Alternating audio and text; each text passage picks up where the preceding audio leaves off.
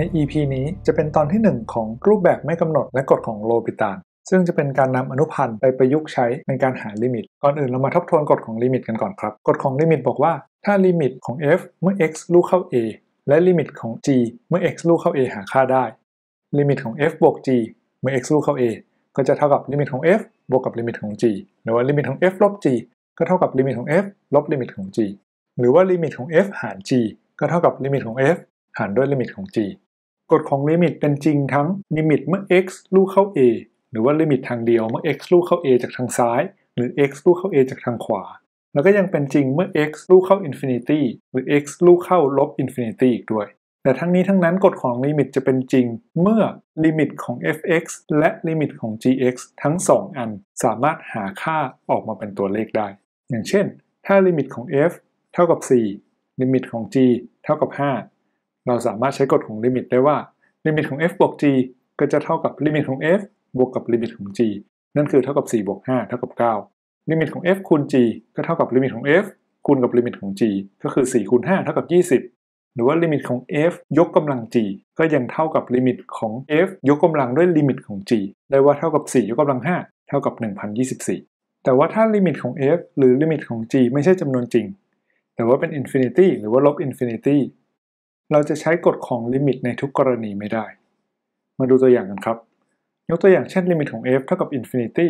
ลิมิตของ g เท่ากับ infinity ทั้ง 2 อันเมื่อ x ลู่เข้า a ค่าเดียวกัน ถ้าเราจะถามว่าแล้วลิมิตของ f บวกกับ g จะเท่ากับเท่าไหร่ ถ้าเสมือนว่าเราใช้กฎของลิมิตก็คือเท่ากับ infinity บวก infinity ในกรณีนี้จะเหมือนเสมือนว่าเราใช้กฎของลิมิตได้ เพราะว่าคำตอบของมันจะเป็น infinity เมื่อ f มีค่ามากขึ้นแบบไม่มีขีดจำกัด และ g ก็มีค่ามากขึ้นแบบไม่มีขีดจำกัด f บวก g ก็มีค่ามากขึ้นแบบไม่มีขีดจำกัดเช่นกัน เราจึงได้ว่าลิมิตของ f บวก g ก็เท่ากับ infinity ด้วย f คูณกับ g ก็มีค่ามากขึ้นเรื่อยแบบไม่มีขีดจำกัด เพราะฉะนั้นเราเลยได้ว่าลิมิตของ f คูณ g ก็เท่ากับ infinity เช่นกัน ลิมิตของ f ยกกำลัง g ก็จะได้สิ่งที่มีค่ามากขึ้นเรื่อยๆ แบบไม่มีขีดจำกัด ยกกำลังด้วยสิ่งที่มีค่ามากขึ้นเรื่อยๆ แบบไม่มีขีดจำกัด ผลลัพธ์ที่ได้ก็มีค่ามากขึ้นเรื่อยๆ แบบไม่มีขีดจำกัด เพราะฉะนั้นลิมิตของ f ยกกำลัง g ก็ได้ว่าเท่ากับ infinity เช่นกัน จริงๆ แล้ว infinity ไม่ใช่ตัวเลข เป็นเพียงแค่สัญลักษณ์ เพราะฉะนั้นที่ผมเขียนลงไปว่า infinity บวก infinity เท่ากับ infinity ไม่ใช่การคำนวณของตัวเลข เป็นเพียงใช้สัญลักษณ์เพื่อมาช่วยเราในการให้เหตุผลเฉยๆ ว่าถ้าสิ่งที่มีค่ามากบวกกับสิ่งที่มีค่ามากก็ยิ่งมากสำหรับการคำนวณลิมิต บางครั้งเราก็อนุโลมให้ใช้สัญลักษณ์เหล่านี้ เพื่อแสดงความหมายได้ แต่ว่าอย่าลืมว่าอันนี้ไม่ใช่การคำนวณของตัวเลข ถ้าอย่างนั้นผมถามว่าในกรณีเดียวกัน ถ้าลิมิตของ f เท่ากับ infinity ลิมิตของ g เท่ากับ infinity แล้วลิมิตของ f ลบ g เราจะสามารถเขียนว่ามันเท่ากับ infinity ลบ infinity แล้วมันจะเท่ากับเท่าไหร่กันล่ะ หรือถ้าลิมิตของ f ส่วน g แล้วเราพยายามจะใช้กฎของลิมิต มันคือเสมือนว่าเรา infinity มาหารด้วย infinity แล้วมันจะเท่ากับเท่าไหร่ คำตอบก็คือเราบอกไม่ได้ว่ามันเท่ากับเท่าไหร่ ถ้าเราไม่รู้แน่ๆว่าฟังก์ชันของมันคืออะไร ในกรณีแบบนี้สังเกตว่าเราไม่สามารถใช้กฎของลิมิตโดยตรงได้ เดี๋ยวมาดูตัวอย่างกันว่าทำไม สมมติว่าเรามี f(x) เท่ากับ1ส่วน x ยกกำลัง2เราจะได้ว่าลิมิตของ f เมื่อ x ลู่เข้า 0 จะเท่ากับ infinity ให้ gx เท่ากับ1ส่วน x ยกกำลัง4ในทำนองเดียวกันลิมิตของ g เมื่อ x ลู่เข้า 0 ก็เท่ากับ infinity งั้นเรามาดูว่าแล้วลิมิตของ fx ส่วน gx ซึ่งถ้าเราแทนค่าลงไปตรงๆ เราจะได้ว่า infinity ส่วน infinity ใช่ไหมครับ มันก็จะเท่ากับลิมิตของ1ส่วน x ยกกำลัง2ทั้งหมดหารด้วย1ส่วน x ยกกำลัง4คำนวณกลับเศษเป็นส่วนก็จะได้เป็นลิมิตของ x ยกกำลัง4ส่วน x ยกกำลัง2เมื่อ x ลู่เข้า0จัดรูปได้เป็นลิมิตของ x ยกกำลัง2เมื่อ x ลู่เข้า0ลิมิตนี้เท่ากับ0เราก็จะได้ว่า infinity ส่วน infinity แต่ลิมิตคำตอบได้เป็น0ถ้าเปลี่ยนใหม่ ให้ f(x) เป็น1ส่วน x ยกกำลัง 4 gx เป็น1ส่วน x ยกกำลัง 2 เราก็จะได้ว่าลิมิตของ f(x) ส่วน gx ถ้าเราแทนค่าลงไปตรงๆ ยังได้ infinity ส่วน infinity อยู่ แต่ได้ว่าลิมิตเมื่อ x ลู่เข้า0เนี่ยของ f ส่วน g เนี่ยจะเท่ากับลิมิตของ x ยกกำลัง 2 ส่วน x ยกกำลัง 4 จัดรูปแล้วได้เป็นลิมิตของ 1 ส่วน x ยกกำลัง 2 เมื่อ x ลู่เข้า0เมื่อ x ลู่เข้า0 1ส่วน x ยกกำลัง 2 ลู่เข้า infinity เสมือนได้ว่า infinity ส่วน infinity เท่ากับ infinity หรือถ้าผมให้ f(x) เท่ากับ 98 ส่วน x ยกกำลัง2และ gx เท่ากับ 1 ส่วน x ยกกำลัง2เหมือนเดิมเราเรียงได้ว่าลิมิตของ f(x) เมื่อ x ลู่เข้า0เท่ากับ infinity ลิมิตของ gx เมื่อ x ลู่เข้า0ก็เท่ากับ infinity ลิมิตของ f ส่วน g เสมือนว่าถ้าเราแทนค่าลงไปตรงๆ เราได้เป็น infinity ส่วน infinity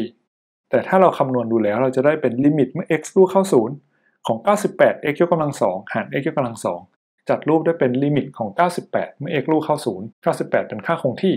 ลิมิตเท่ากับค่านั้นลิมิตนี้เท่ากับ 98 เสมือนว่าเราได้ infinity ส่วน infinity เท่ากับ 98 ถ้าเราแทนค่าลงไปแล้วเราได้ infinity ส่วน infinity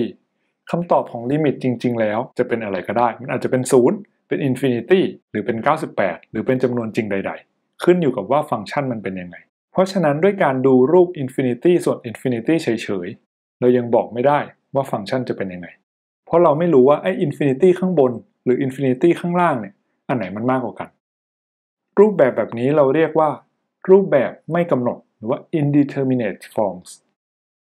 แบบที่ 1 ก็คือ infinity ส่วน infinity หรือว่า 0 ส่วน 0 นั่นหมายความว่าเมื่อเราแทนค่าลิมิตลงไปแล้ว เราได้ลิมิตข้างบนเป็น infinity ลิมิตข้างล่างเป็น infinity หรือว่าลิมิตข้างบนเป็น 0 แล้วก็ลิมิตข้างล่างเป็น 0 แบบนี้เราไม่รู้ว่า ข้างบนหรือข้างล่าง อันไหนมันเข้าสู่ infinity เร็วกว่ากัน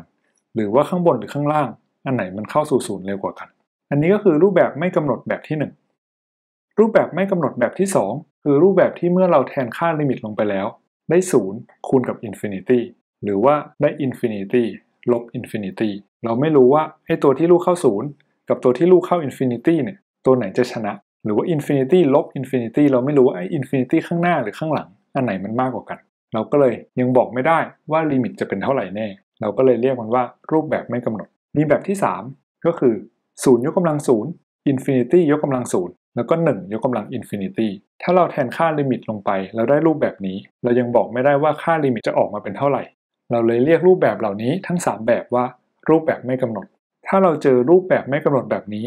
เราจะมีวิธีการ มีเทคนิค มีทฤษฎีอะไร ในการหาค่าลิมิตออกมาสำหรับใน EP นี้ซึ่งเป็นตอนที่ 1 เราจะมาจัดการกับรูปแบบไม่กำหนดแบบที่ 1 ก็คือ infinity ส่วน infinity หรือ 0 ส่วน 0 กันก่อนสำหรับ EP หน้า เราจะมาจัดการกับแบบที่ 2 แล้วก็แบบที่ 3 วิธีการที่เราจะใช้จัดการกับรูปแบบที่ 1 เราจะใช้ทฤษฎีที่เรียกว่ากฎของโลปิตาลหรือว่า L'Hopital's rule ทฤษฎีมีอยู่ว่า ถ้าลิมิตของ f เท่ากับ infinity แล้วก็ลิมิตของ g เท่ากับ infinity หรือลิมิตของ f เมื่อ x ลู่เข้า a เท่ากับ 0 และลิมิตของ g เมื่อ x ลู่เข้า a เท่ากับ 0 นั่นคือลิมิตของ f และ g เป็น infinity ทั้งคู่ หรือเป็น 0 ทั้งคู่ เราจะได้ว่าลิมิตเมื่อ x ลู่เข้า a ของ f ส่วน g เท่ากับลิมิตเมื่อ x ลู่เข้า a ของอนุพันธ์ของ f หารด้วยอนุพันธ์ของ g เมื่อไอ้ลิมิตตัวเนี้ยสามารถหาค่าได้ หรือว่าเป็นบวก หรือเป็นลบ infinity นั่นก็คือถ้าเราต้องการหาลิมิตของ f ส่วน g แล้วเราลองนำลิมิตไปแทนค่าได้เป็น infinity ส่วน infinity หรือ 0 ส่วน 0 เราสามารถบอกได้ว่าลิมิตของ f ส่วน g เนี่ยจะเท่ากับลิมิตของอนุพันธ์ของ f หารด้วยอนุพันธ์ของ g ก่อนจะนำอันนี้ไปใช้งานกันเราลองมาดูเหตุผล หรือว่ามาดูแนวคิดนิดหนึ่งว่ากฎของโลปิตาลทำไมอันเนี้ยมันถึงควรจะจริง เดี๋ยวเราจะมาดูกรณีที่ลิมิตของ f และลิมิตของ g เป็น0กัน สมมติให้ลิมิตของ f และลิมิตของ g เมื่อ x ลู่เข้า a เนี่ยเท่ากับ 0 สมมติว่านี่เป็นกราฟของฟังก์ชัน แล้วนี่เป็นเส้นสัมผัสของฟังก์ชัน ถ้าเรามองใกล้ๆที่จุด a แล้ว จะเห็นได้ว่าค่าของฟังก์ชัน มีค่าใกล้เคียงกับค่าของเส้นสัมผัส นั่นคือเราสามารถประมาณ f(x) ได้ด้วยอนุพันธ์ของ f ที่ a คูณกับ x ลบ a บวกด้วย f ของ a อันนี้เราเรียกว่าการประมาณเชิงเส้น เนื่องจากลิมิตของ f เมื่อ x เข้าสู่ a มีค่าเท่ากับ 0 เราเลยได้ว่า f(x) มีค่าประมาณ f prime a คูณกับ x ลบ a ในทำนองเดียวกัน gx ก็มีค่าประมาณ g prime a คูณกับ x ลบ a เพราะฉะนั้นลิมิตของ f(x) ส่วน gx ก็จะมีค่าประมาณลิมิตของ x เข้าสู่ a ของ f prime a คูณกับ x ลบ a หารด้วย g prime a คูณกับ x ลบ a เนื่องจาก x เข้าใกล้ a x ไม่ได้เท่ากับ a เราตัด x ลบ a ออกได้เลยได้ว่าลิมิตของ f(x) ส่วน gx เนี่ยมีค่าเท่ากับ f prime a ส่วน g prime a อันนี้ก็เป็นไอเดียคร่าวๆ ว่าทำไมกฎของโลปิตาลเนี่ยถึงน่าจะเป็นจริง กฎของโลปิตาลเนี่ย นอกจากจะใช้กับลิมิตเมื่อ x ลู่เข้า a ได้แล้ว ยังสามารถใช้กับลิมิตเมื่อ x ลู่เข้า a จากทางซ้ายหรือจากทางขวาก็ได้ หรือจะใช้กับลิมิตเมื่อ x ลู่เข้าสู่บวก infinity หรือลบ infinity ก็ได้ โดยที่การจะใช้งานได้นั้น รูปของลิมิตต้องอยู่ในรูปแบบไม่กำหนด infinity ส่วน infinity หรือ0ส่วน0เท่านั้น ถ้าไม่ได้อยู่ในรูป 2 รูปนี้ เราจะใช้กฎของโลปิตาลไม่ได้ เดี๋ยวเรามาดูตัวอย่างกันดีกว่า ว่าเราจะนำกฎของโลปิตาลไปใช้ได้ยังไง สมมติว่าเราต้องการหาค่าของลิมิตเมื่อ x ลู่เข้าศูนย์ของไซน์ 2x ทั้งหมดหารด้วย x บวก x ยกกำลังสองก่อนอื่นเราลองหาลิมิตของข้างบนแล้วก็ข้างล่างดูก่อน ถ้าแทนค่าศูนย์ลงไปจะได้ว่าข้างบนเท่ากับไซน์ศูนย์ไซน์ศูนย์เท่ากับศูนย์ข้างล่างเท่ากับศูนย์บวกศูนย์ยกกำลังสองเท่ากับศูนย์เพราะฉะนั้นลิมิตนี้อยู่ในรูปแบบไม่กำหนดศูนย์ส่วนศูนย์เราไม่รู้ว่าข้างบนหรือข้างล่างที่ลู่เข้าศูนย์เร็วกว่ากัน เราก็จะใช้กฎของโลปิตาลจากกฎของโลปิตาลเราได้ว่าลิมิตของไซน์ 2x หารด้วย x บวก x กำลังสองเนี่ยเมื่อใช้กฎของโลปิตาลแล้ว มันจะเท่ากับลิมิตเมื่อ x ลู่เข้าศูนย์ของอนุพันธ์ของตัวข้างบน หารด้วยอนุพันธ์ของตัวข้างล่าง อนุพันธ์ของไซน์ 2x เท่ากับ 2 คูณกับ cos 2x อนุพันธ์ของ x บวก x ยกกำลังสองเท่ากับ 1 บวก 2x หลังจากนั้นเราก็ลองแทนค่าศูนย์เข้าไปเพื่อหาลิมิต ข้างบน cos 0 cos 0 เท่ากับ 1 ข้างล่าง 1 บวก 2x 1บวก2คูณ0เท่ากับ 1 เพราะฉะนั้นลิมิตทั้ง 2 อันสามารถหาค่าได้ ใช้กฎการหารได้ และลิมิตนี้ก็เท่ากับ 2 หารด้วย1บวก0ซึ่งเท่ากับ 2 เราก็เลยได้ว่าลิมิตเมื่อ x เข้าสู่0ของไซน์ 2x หารด้วย x บวก x กำลัง2เนี่ยเท่ากับ2มาดูตัวอย่างถัดไปกัน จงหาค่าของลิมิตเมื่อ x ลู่เข้า infinity ของ x ยกกำลัง3บวก 2x ทั้งหมดหารด้วย 2 x ยกกำลัง3บวก 1 ลองดูว่าข้างบนก็ลู่เข้า infinity ข้างล่างก็ลู่เข้า infinity เพราะฉะนั้นข้อนี้อยู่ในรูปแบบไม่กำหนด infinity ส่วน infinity เราเลยสามารถใช้กฎของโลปิตาลได้ จากกฎของโลปิตาลเราได้ว่า ลิมิตนี้เท่ากับลิมิตเมื่อ x ลู่เข้าสู่ infinityของอนุพันธ์ของข้างบน หารด้วยอนุพันธ์ของข้างล่าง อนุพันธ์ของข้างบนเท่ากับ 3x ยกกำลัง2บวก 4x อนุพันธ์ของข้างล่างเท่ากับ 6x ยกกำลัง2ข้างบนก็ยังเป็นลิมิตยังเป็น infinity อยู่ ส่วนข้างล่างลิมิตก็ยังเป็น infinity อยู่ เพราะฉะนั้นยังใช้กฎของโลปิตาลได้อีกครั้งหนึ่ง อยู่ในรูป infinity ส่วน infinity ใช้กฎของโลปิตาลซ้ำอีกครั้งหนึ่ง เราได้ว่ามันเท่ากับลิมิตเมื่อ x ลู่เข้าสู่ infinity ของอนุพันธ์ของข้างบน เท่ากับ 6x บวก4หารด้วยอนุพันธ์ของข้างล่าง เท่ากับ 12x สังเกตว่าข้างบนก็ยังลู่เข้า infinity ข้างล่างก็ยังลู่เข้า infinity อยู่ในรูป infinity ส่วน infinity อยู่ ใช้กฎของโลปิตาลได้อีกครั้งหนึ่ง ใช้แล้วได้ว่า อนุพันธ์ของข้างบนเท่ากับ 6 อนุพันธ์ของข้างล่างเท่ากับ 12 ลิมิตของ6ส่วน12 เท่ากับ6ส่วน12 เท่ากับ1ส่วน2เราเลยได้ว่าลิมิตข้อนี้เท่ากับ1ส่วน2มาดูตัวอย่างถัดไปกันครับ จงหาค่าของลิมิตเมื่อ x ลู่เข้าสู่ infinity ของ e ยกกำลัง x หารด้วย x ยกกำลัง 3 ข้างบน ลู่เข้าสู่ infinity ข้างล่างก็ลู่เข้าสู่ infinity ถ้าเราไม่ลองคำนวณดู เราไม่รู้ว่า infinity ข้างล่างหรือข้างบน อันไหนโตเร็วกว่ากัน แต่เราใช้กฎของโลปิตาลช่วยได้ เนื่องจากอยู่ในรูปแบบไม่กำหนด infinity ส่วน infinity จากกฎของโลปิตาลเราได้ว่าลิมิตนี้เท่ากับลิมิตของอนุพันธ์ข้างบน หารด้วยอนุพันธ์ของข้างล่าง diff e กำลัง x ได้ e กำลัง x diff x กำลัง 3 ได้ 3x กำลัง 2 ข้างบนยังลู่เข้า infinity ข้างล่างยังลู่เข้า infinity อยู่ ใช้กฎของโลปิตาลซ้ำอีกครั้งหนึ่ง ได้เป็นลิมิตของ e ยกกำลัง x หารด้วย 6x ข้างบนก็ยังเป็น infinity ข้างล่างก็ยังลู่เข้า infinity อยู่ ใช้กฎของโลปิตาลซ้ำอีกครั้งหนึ่ง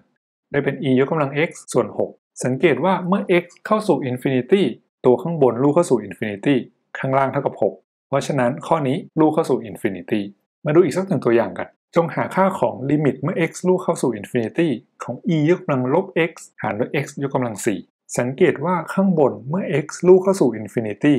e ยกกำลังลบ x จะมีค่าน้อยลงเรื่อยๆ จนจะลู่เข้าสู่ 0 ส่วน x ยกกำลัง 4 ก็ลู่เข้าสู่ infinity เพราะฉะนั้นข้อนี้ไม่ได้อยู่ในรูป infinity ส่วน infinity แต่อยู่ในรูป0ส่วน infinity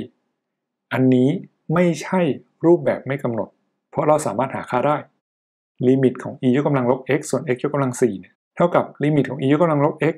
คูณกับลิมิตของ 1 ส่วน x ยกกำลัง 4 เพราะว่าลิมิตของ e ยกกำลังลบ x ก็เท่ากับ 0 ลิมิตของ 1 ส่วน x ยกกำลัง 4 ก็เท่ากับ 0 สามารถใช้กฎการคูณได้ เท่ากับ 0 คูณ 0 เท่ากับ 0 เพราะฉะนั้นก่อนเราจะใช้กฎของโลปิตาลเราต้องระมัดระวังด้วยว่าลิมิตของเราอยู่ในรูป infinity ส่วน infinity หรือ 0 ส่วน 0 เท่านั้น แล้วในวันนี้เราก็ได้รู้จักกับการใช้กฎของโลปิตาลเพื่อคำนวณลิมิตที่อยู่ในรูปแบบไม่กำหนดแบบที่ 1 ก็คือ infinity ส่วน infinity กับ 0 ส่วน 0 ไปแล้ว เดี๋ยวใน EP หน้า เราจะมาคุยกันต่อว่า